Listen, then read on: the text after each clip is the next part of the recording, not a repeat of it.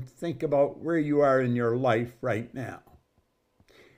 You know, Scott, if you'll throw up the screen, we very rarely look at our results. I never looked at my results at all until I was 26. Oh, I got report cards and I had, um, you know, people talk to me and give me advice and tell me what I should be doing. But I never seriously sat down and looked at the results I was getting in my life. Now, I want to recommend you do that. In fact, I want to recommend you do that right now. If you've got a sheet of paper in front of you, I'd like you to jot down what's the most you've ever earned in a year. Now you may say, well, money's not everything, and you're right, it's not. But there really isn't anything that will replace it. And you see, the amount of money you earn is a direct indication of the programming that's taking place in your mind right now. Take a look at your social life, the people you mix with. What kind of income do they earn? What kind of results are they getting? You're going to find that the results you're getting are very much the same as the results they're getting. You see, this is an orderly universe. And we really attract to us energy that's in harmony with us. The people we mix with are very much like ourselves.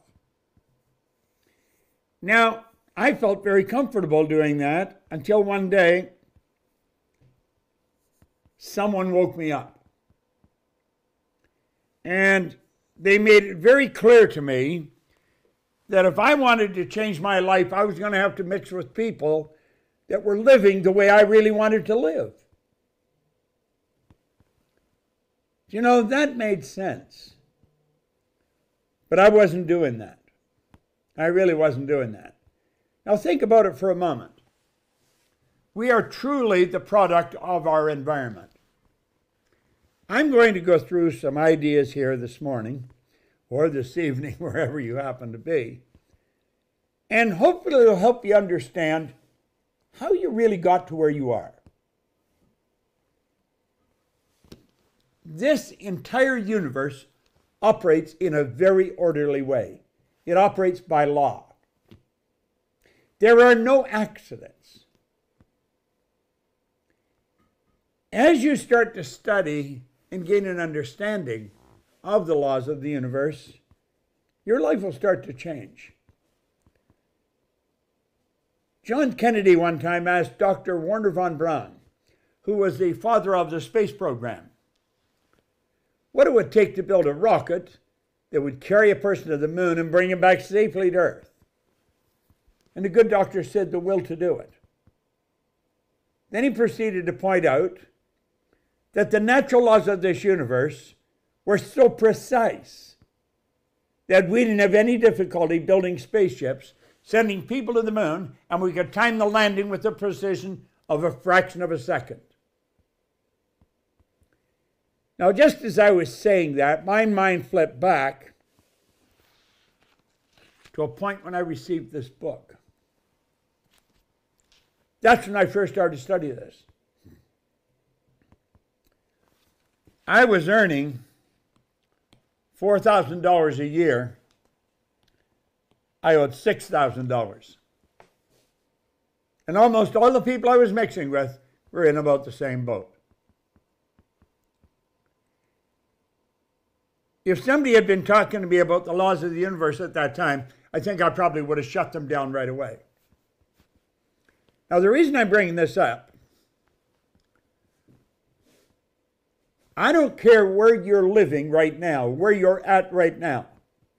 I want you to try and understand this. You can do so much better than you're doing. And we can show you how to do that. You see, I have spent my entire adult life, from the time I was 26, until today studying one subject. When I first started to study this, I became absolutely fascinated with it. You know, in 1973, I took my pen and I sat down and I wrote out that I would build a company that operated all over the world. We were doing a meeting very similar to this here about, I don't know, a month, six weeks ago. And Mikey, our COO that opened this meeting, she phoned me. I just walked in to sit down and watch television. That's something I very rarely do. And just as soon as I sat down, I thought, I don't really want to watch television. So I got up to leave, and my phone rang, and it was Mikey. And she said, Bob, we just went into every country in the world. 93,000 people were tuned in to the meeting, very similar to this. Now, how did that happen? Do you know in 1973, when I wrote that down on a piece of paper, I had absolutely no idea how I could do it. Absolutely no idea. Now, I had been studying this since 1961. So I had about 12 years under my belt. And I had been studying with some absolute giants in this business. Everyone that I've studied with have got me to do exactly the same thing. Sit down, Bob. Take a look where you are. Take a look at the people you're mixing with it's not that they're bad people, it's just that they don't know how to help you get to where you're going. So if you keep hanging around with them, you're all going to end up at the end of the road in the same place you're in right now. Do you know that 95 out of 100 people are losing? They're struggling. They struggle all the way through their life.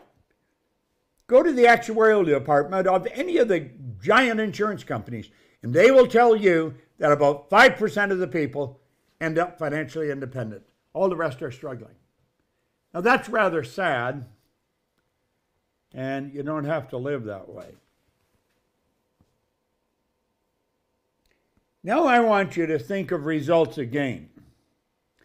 And I'd like you to think of the results that you'd like to get. What would you really like to be earning? I don't care what the number is, I could show you how to do it. You may say, well, Bob, that's sort of a braggadocious statement. No, it's not. That statement is based on an understanding that I've developed over 60 years. On the 5th of July, I will be 87 years old. I'm only a nine iron away from being 90 years old. And I have never stopped studying this since I was 61. You see, I became so absolutely fascinated with this information, I couldn't stop studying it. And as I studied it, my income just kept going up and up and up. This just kept growing. I've earned millions of dollars. Now I have two months high school. Two months. When I started to study this, I had absolutely no business experience at all. I'll tell you what happened. If you'd throw the introductory screen up full size, Scott. Blow it right up. I started it in 1961, and until 15 years ago, I had, I had earned millions of dollars, but I couldn't seem to keep it. I kept getting in trouble. The company kept getting in trouble. 15 years ago, the lady you see on the screen, Sandy Gallagher, came to a seminar. She was a securities attorney, and uh, she was buying and selling banks, turning banks public. But she became fascinated with what I was teaching. And she kept coming to the seminars, and then she kept hanging around. And one day she said, Bob, I'd like to join you in this company. I could help you a lot. You see, my expertise is money. She is absolutely incredible with money. And 15 years ago, Sandy Gallagher became a partner of mine. She owns half of this company. And 15 years ago, this company took a turn in the right direction. Now, if you go back to the screen, Scott, thanks. What happened? As a corporate point of view, no, the slide, please. As a corporate point of view, I got started to get information from somebody that really understood what they were doing. You see, I was mixing with people that earned a lot of money, but most of them were in the same position as me. They weren't keeping it. We were getting tremendous results. But then the results would go down. Then we go back up and then they go down. Then they go back up and then they go down. Then they go back up and then they go down. We were playing like we were on a racetrack, going around in circles. You've probably played that game yourself. It's not a fun place to be. It's not a fun game to play. Now, we will show you and talk to you about what you should do with money. We'll show you how to earn it. We're very good at that. And I think as we get into this, you're really going to enjoy it. But you're not going to get it by accident. You're going to make a commitment that you're really going to study it. Now, let me explain. Throw it up full screen Scott, please. Just look at this for a moment. In 1961, I met a man that gave me that book, Think and Grow Rich. And he said, Bob, begin to think in abundance. A disciplined mind can create substantial income starting today. And that's exactly what I did. And I started to study. I started to study like a serious scientist. In 1966, I went to visit Earl Nightingale and Lloyd Conant of the Nightingale Conant Corporation. You can put that down for a minute, Scott. You see, Earl Nightingale and Lloyd Conant started this industry that we're a part of, this personal growth industry. They started it with a record that Earl Nightingale made called The Strangest Secret. And what Earl was talking about is pretty, pretty well what I'm talking about right now. And they started to mail the record. Earl Nightingale was a radio broadcaster. He was the most listened to radio broadcaster in the world. Lloyd Conant ran a mail house. He started to sell it for him. They were two absolutely brilliant men that came together. Okay, put it back. Thanks, Scott. Now, I went to work with them in 1966. In 1968, I was their vice president of sales. And I was. Uh, I was living in Chicago and I was waiting for a green card. That's not a good place to be if you're Canadian, because you can't come back to Canada if you're Canadian. If you're living in Canada, you can't go back to the States. I don't know, it's a funny rule, but it's, the rule. So I was staying, I was living at the Lincolnwood Hyatt House, and I'd been there for a number of months. Lloyd Conant used to invite me over to his home for dinner. I was at his home for dinner one night and I said, Lloyd, how did you start this company? Because he didn't start a company, he started an industry. Lloyd always, he'd start telling the story. He'd lift his arm and he'd, he'd point up to an area, and wherever he went, I went there with him. And he said, Well, he said, I was, you know, and he'd start telling me a story. And he said, I was given this book. And I studied it all weekend. And I made up my mind I'd start a world class company. He went and got me the book. I wasn't remotely interested in why he started that company. I was only interested in what was in the book. Now, what was in that book was very difficult to read. It took me a number of years to really, really decode it.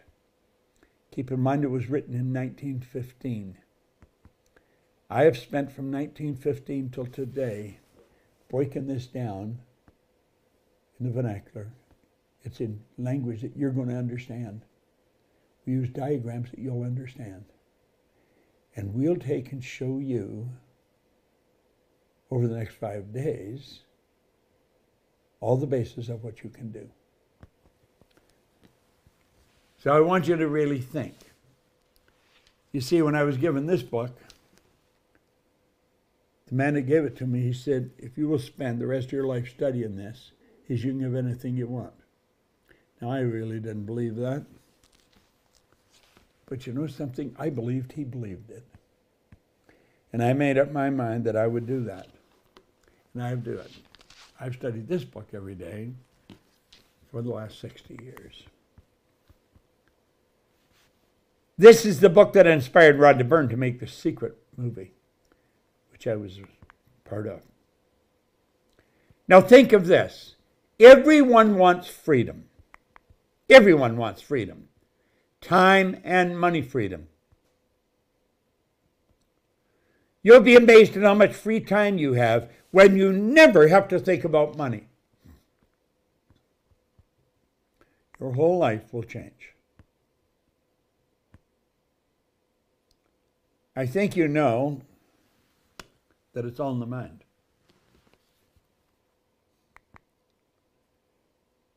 And you form paradigms. You may not even know what a paradigm is. I certainly didn't. But you'll find as we go through here that paradigms literally control your life.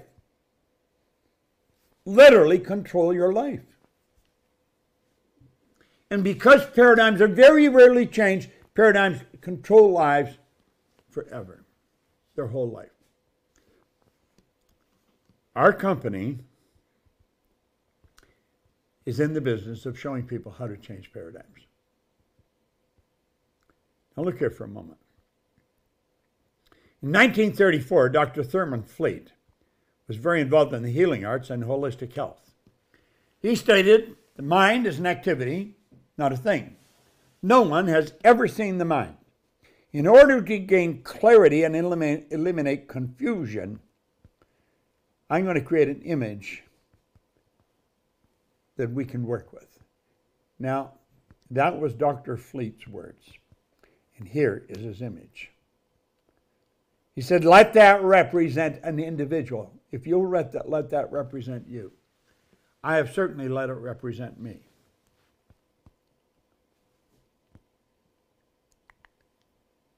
The big circle is the mind, and the small circle is the body.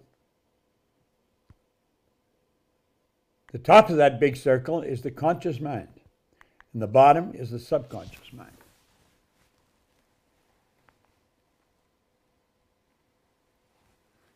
It's rather interesting how this works. The little circle is the body.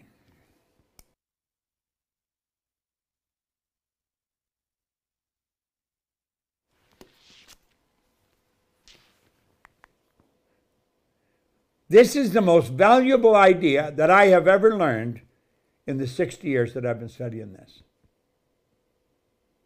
Now, think about that. That's a pretty bold statement.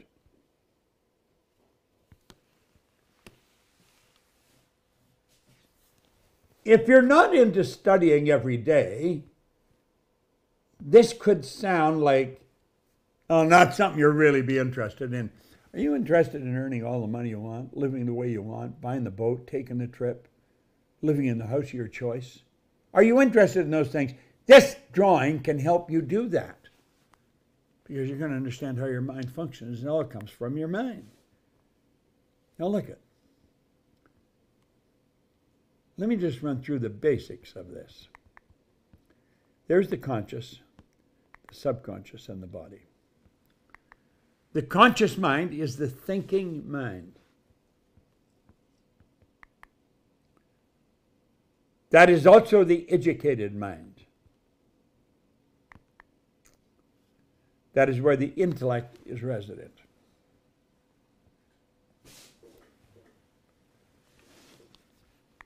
The subconscious is the emotional mind. Now, these two parts of your personality operate totally different. The conscious mind, you have the ability to choose because you can think.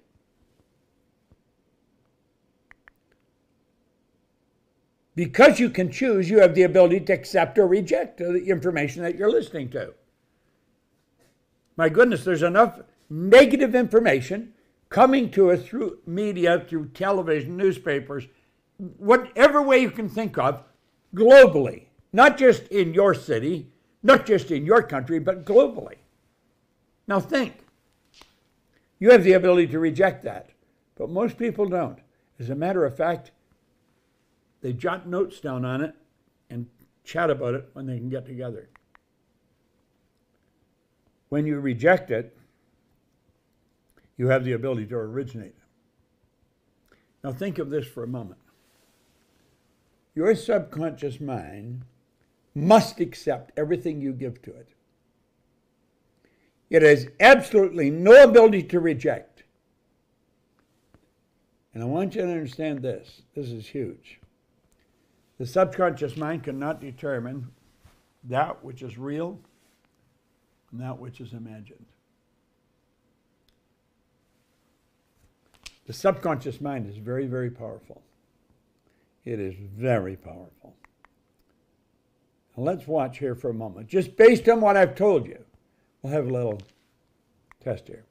Here's you today. And you're getting inundated with all kinds of information from your outside world. It's flowing into your consciousness, okay? From your outside world. Now, you have the ability, just as we've done here, to throw that information and say, get out of here.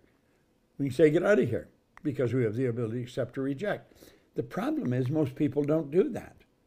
They, and they, when they don't, they leave their mind wide open and it goes right into their subconscious mind. And that is because they have a paradigm.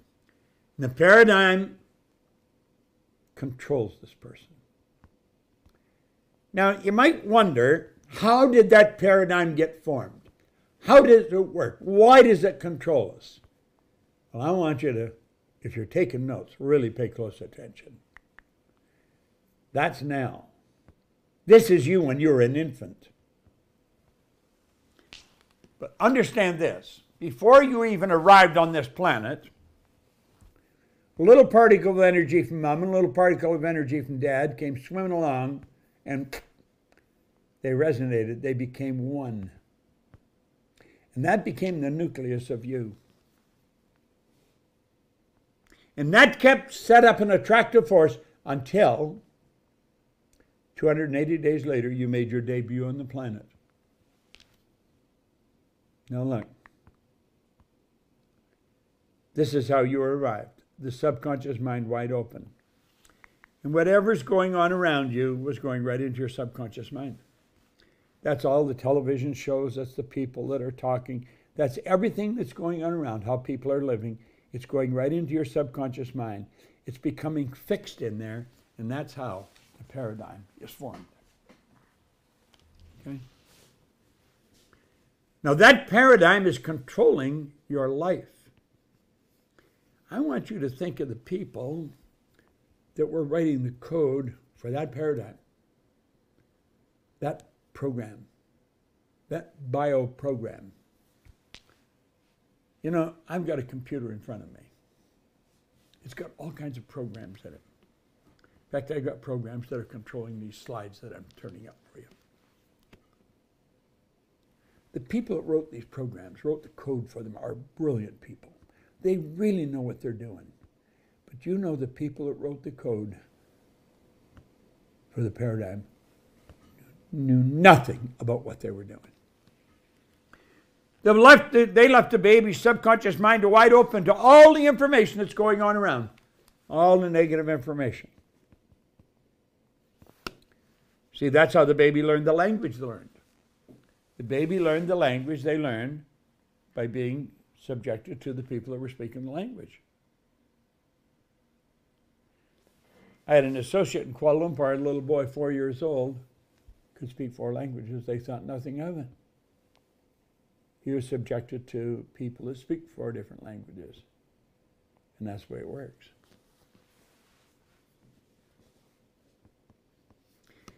Now, if at four years old a child can learn four languages, a four year old child, don't you think we could learn to change our life? Now, look here for a moment. Here we are here today. There we are there as an infant. The paradigm's literally controlling us.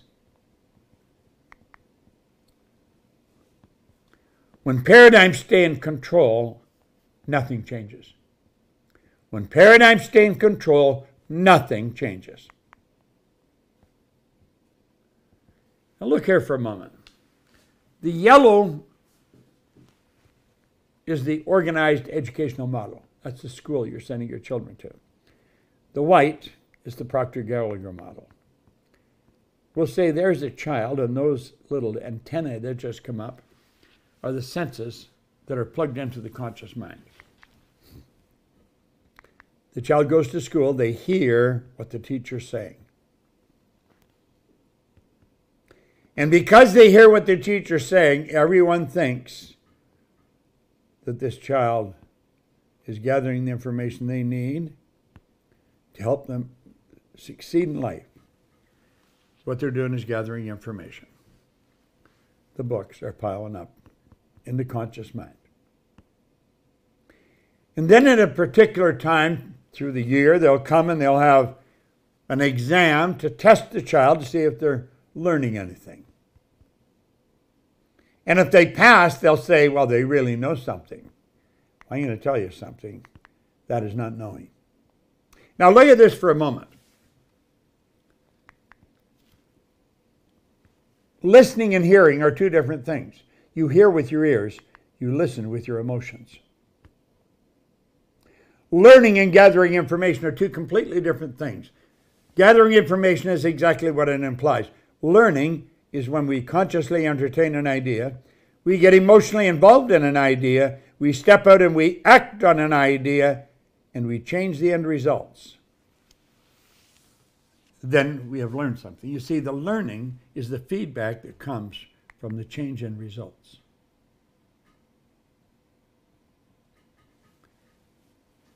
There's quite a difference in the two models.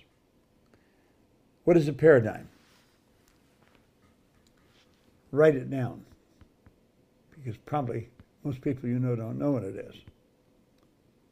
A paradigm is a mental program that has almost exclusive control over our habitual behavior. And almost all of our behavior is habitual. Now think of that. A paradigm is a mental program that has almost exclusive control over our habitual behavior. And almost all of our habitual behavior is controlled by the program, the paradigm. Now look here for a moment. School gave us valuable knowledge.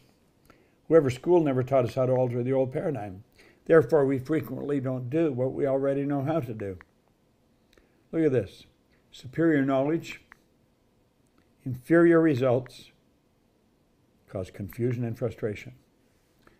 Let's go back to the same model we were using.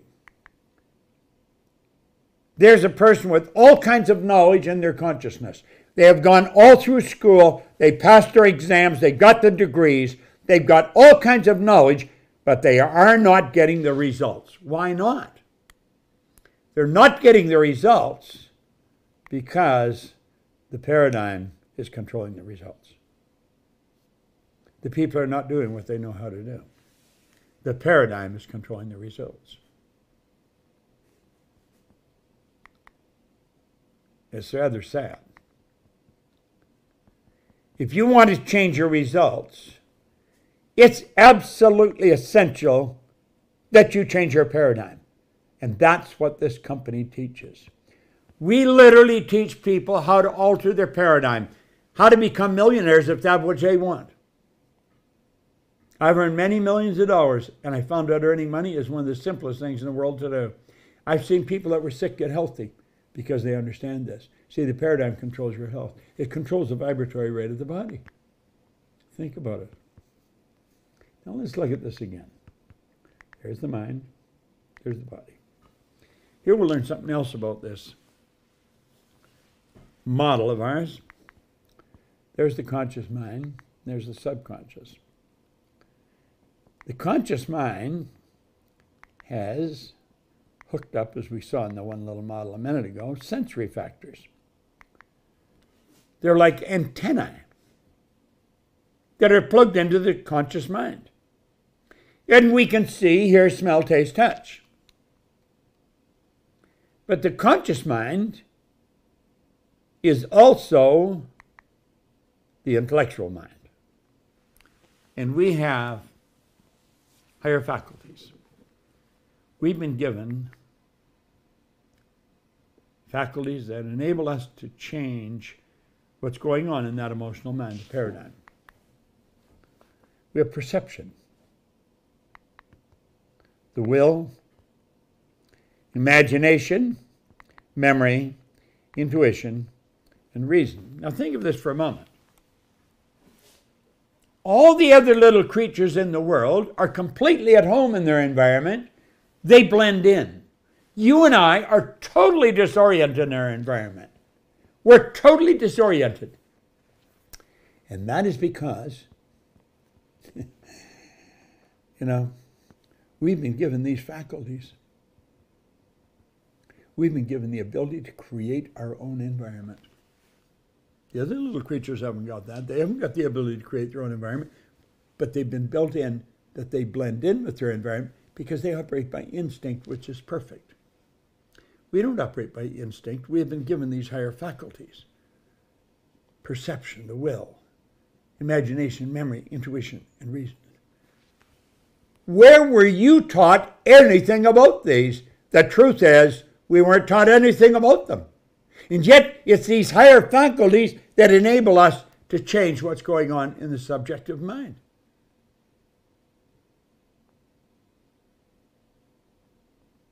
This is almost unbelievable when you stop and think about it. When I started to understand this, I thought, wow, what could we do? Where could we go? Thanks, Scott. Now look at. We'll teach you how those function. Because they're all resident in your conscious mind. And you've got the ability, through the proper use of those higher faculties, to tell the paradigm to get the hell out of town. Then take over and control what's going in here, and you can write your own program. Now, what are you doing? You're writing a program that controls almost all of your habitual behavior. Success is a habit. A paradigm is nothing but a multitude of ideas that we habitually express. Success can be a habit. You're going to write your own program. This is phenomenal. I hear people say, does this cost something? What do you think it would be worth? If I could show you something to earn millions of dollars, change your corporation, change your life. Look at decisions must be committed decisions.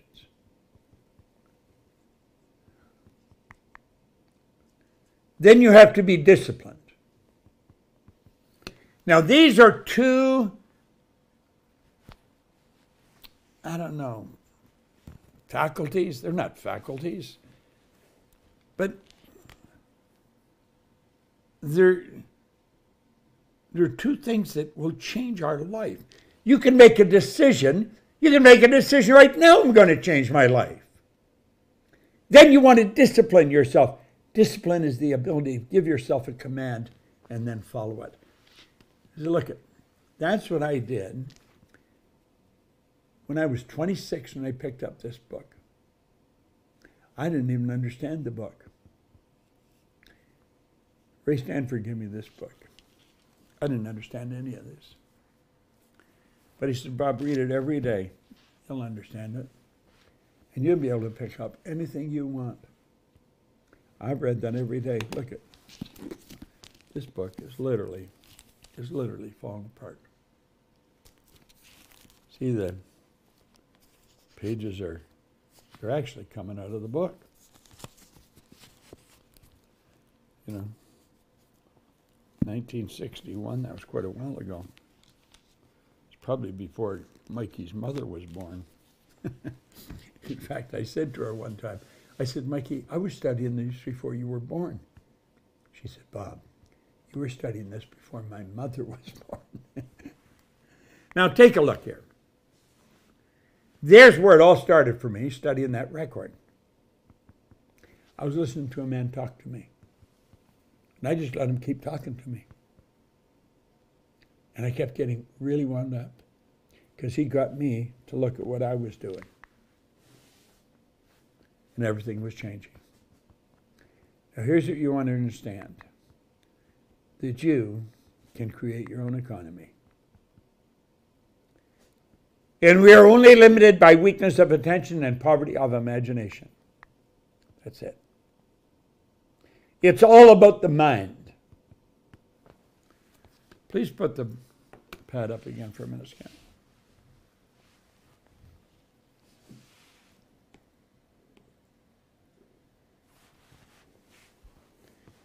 I don't know if you had a pen and pad handy when I started, but if you haven't, we suggested that you write down what your income, the most you've ever earned in a year. And then what your social life is like, the people you mix with. Then ask yourself what their income is like. Because you see, you become a product of your environment.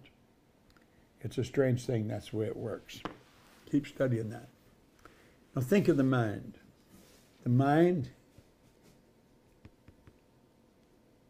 it, it's beyond comprehension. You're talking about the vibration of the universe. But we're talking about your marvelous mind. Understanding your mind and working in harmony with the laws governing the mind is essential. Now, I'm going to show you the error that most people make. Most people start out thinking of the results they want to change.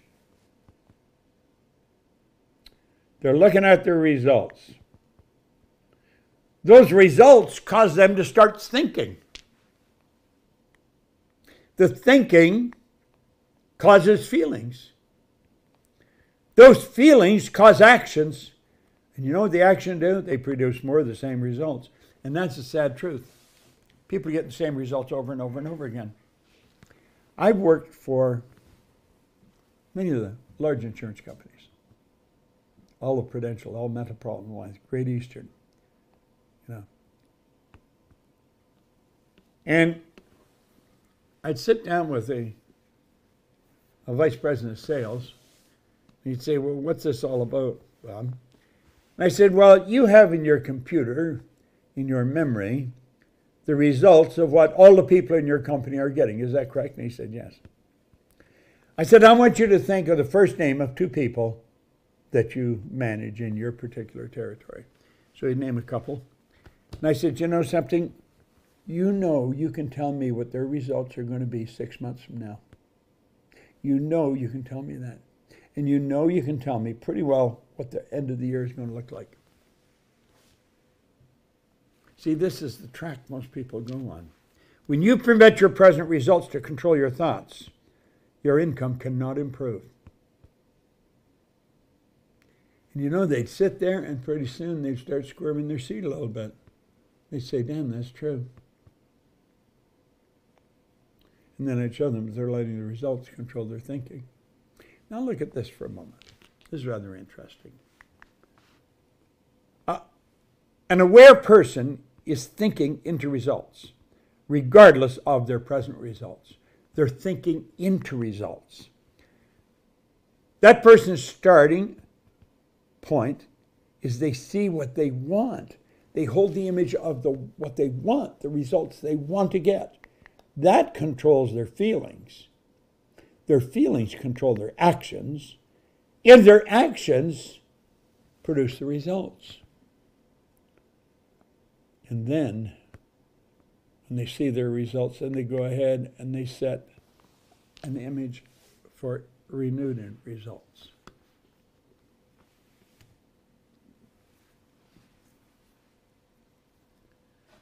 Now, show the slide, the pad back. I don't know what your results are. I have no idea what you're earning. But I do know this you're earning considerably more than you're capable of earning.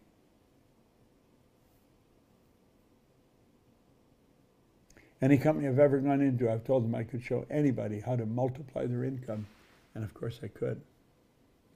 But you must take a look at the people that you're mixing with, the social aspect of your life. And in most cases, they're probably earning very much the same as you are. So give it some thought. Okay? I'm going to turn this back to our Chief Operating Officer,